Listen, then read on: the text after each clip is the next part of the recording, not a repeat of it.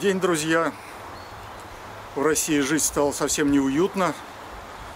Уж до такой степени испоганили нашу страну ребятишки, которые заползли во власть с таким узким лобиком, с таким маленьким мозгом, в котором, в общем-то, мысли самоштабной России не умещаются. И поэтому вот элементарный страх смерти, вот э, что движет кремлевским карликом. Он просто боится умереть. Он боится мифического вируса, который якобы является смертельным. И, видимо, это чувство, которое он разделяет с некоторыми европейскими политиками, уже совершенно сошедшими с ума, а также с олигархическими группировками, которые используют нынешнее положение дел ради личного обогащения, ради того, чтобы подавить э, всю социальную, политическую активность граждан и э, прижать их экономически, превратить в рабов, чтобы они работали за похлебку и радовались тому. Ну что ж, я думаю, что ничего у них не получится, в том числе и тот электронный концлагерь, который они попытались организовать. Никакой эпидемии нет, вообще нет. Все специалисты едины в этом мнении, и только чинуши рассказывают нам басни про какие-то эпидемии, про горы трупов, которые не успевают хоронить, и про переполненные больницы. Все это полная ложь, это достоверно установленный факт.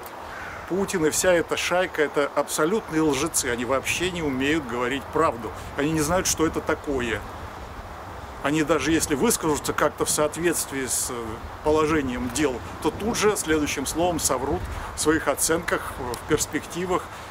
И все, что они делают, абсолютно все, во всех отраслях жизни, в том числе и международной, в которой якобы там какие-то совершения, все это во вред нам. Но мы не народ, поэтому мы не можем сдвинуть их с места. Не можем. Чтобы стать народом, нам надо сформироваться общественно-политические структуры, которые не допустят во власть подобных недоумков, подобных тем, кто сейчас правит, абсолютно лишенным всякого нравственного чувства, всякого достоинства человеческого. Это абсолютные инопланетяне в кавычках. Это абсолютно другой человеческий род. И антиэлитный отбор, который произошел сейчас, это отбор с целью уничтожения жизни человечества вообще.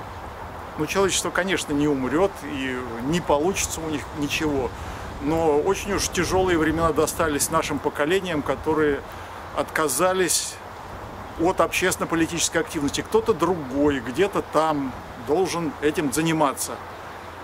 Наемные люди, ну а кто их нанимает? Та же олигархия нанимает. Кто такие журналисты сегодня? Это наемники, наемники лжецов, поэтому они сами превращаются в лжецов.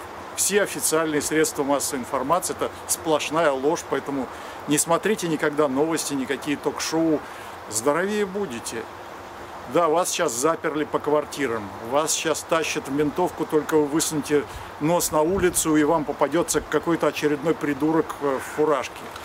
С полицаями никаких дел не имейте, не дружите, не знакомьтесь, презирайте их. Если они пытаются с вами общаться, иронично шутите, не надо с ними иметь ничего общего. Это в нашем понимании это не люди, не люди. Полицаи это не люди, это наши враги. Как бы они не выглядели, как бы они вежливо бы с вами не общались, чтобы они вам не объясняли, надо знать точно, что они враги. Это вовсе не значит, что нужно показывать им свою враждебность, демонстрировать это. Хотя иногда и, и, и это необходимо. Ну, надо знать меру, потому что главная наша задача пережить, перетерпеть эту орду и построить русское национальное государство с нормальной человеческой жизнью, где не будет никаких министерств внутренних дел в погонах и не будет вообще ни одного генерала-полицая. Милицейская служба до уровня муниципальной, не выше начальник УВД, гражданское лицо, избираемое. Вот это нормально. Высший чин по уровню милицейской полиции – это майор. Уголовная полиция не выше региона, высший чин – полковник, не больше. Глава – гражданское лицо, избираемое или назначаемое народным представительством, никаких силовых структур, которые диктовали бы вам, нам, всем, как нам себя вести, где нам ходить, где нам сидеть и так далее. Они, конечно, хотят нас рассадить. Это мечта идиота в погонах рассадить всех по лагерям, следственным изоляторам и так далее. Это их мечта, это их профессия. Не родину защищать-то, как говорят, профессия есть. Сейчас нет такой профессии. Нету. Тем более у людей, которые находятся на полицейской службе или вообще в МВД. Там реформа нужна, конечно, глобальная. Но это все возможно только когда у власти первым лицом в государстве будет русский человек с национальным мышлением. Таких людей в России единицы. Их надо видеть, их надо знать, их надо поддерживать. Если вы этого не умеете, значит вы не можете защитить себя от полицаев. Ну, гневные речи можно произносить э, долго. Надо в этой ситуации сохранять человеческие черты, человеческие отношения – надо понимать, что основа вашей жизни – это ваша семья, ваши друзья, ваша профессия, ваше образование. И на этом нужно делать основной упор. Выживание состоит именно в этом, а не в том, чтобы набить подвал гречкой. Не выживете ни под каким видом. Не будет друзей, не сможете опираться на свою семью, на своих ближайших родственников, на соседей. Вы пропадете в этой ситуации. Поэтому надо восстанавливать традиционные ценности человеческого общения, человеческой жизни. И беречь здоровье, которое отнюдь не сохраняется, если вы надеваете намордник. Это политическое действие, когда вы на себя надели намордник. Этого они хотят, чтобы вы превратились в животных, таких же, как они. Вот не будем давать им такой возможности.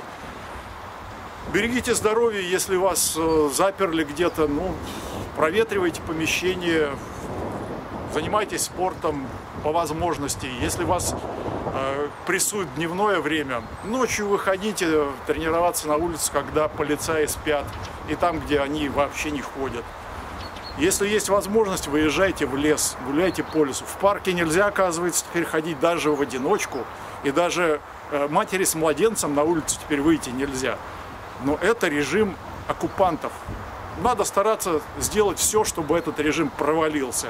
Чтобы все абсолютно, кто с ним сотрудничали, все абсолютно были посажены в тюрьму. Я не шучу, это несколько миллионов негодяев, которые э, сделали невозможной нормальную жизнь для э, сотен миллионов людей. Вот эти несколько миллионов должны быть полностью устранены от всех рычагов власти и навсегда. И подавляющее большинство из них должно сидеть в тюрьме. Ну, одни год-два, а другие пожизненно. Кого-то надо, наверное, вздернуть, я думаю так. А вообще-то надо заниматься спортом почаще. Я не случайно на площадочке нахожусь, на своей, на дачной. Дачное карате давно не проводил, но сейчас довольно холодно.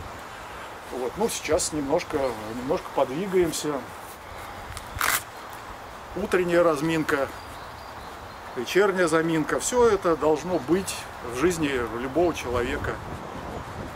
Не знаю, как будет слышно. Вот так просто постучим. Немножко э, один элемент я покажу. Дачное карате буду снимать, наверное, летом уже. А сейчас так.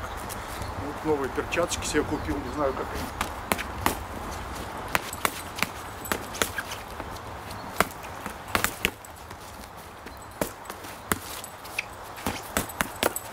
довольно скользкая, скользкая травка пока.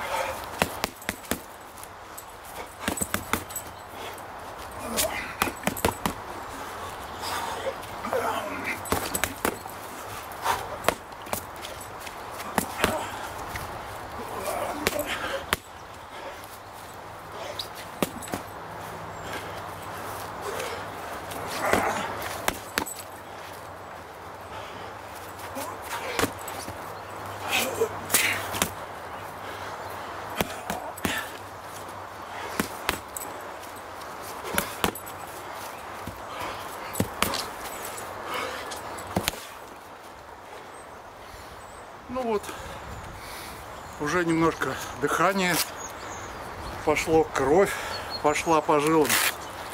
Нет никакого вируса. Для вас его не существует. Ну, подхватите, поболеете три дня. И все. Не бойтесь ничего. Бойтесь негодяев, которые ползли во власть. Ну, вот еще хороший инструментик.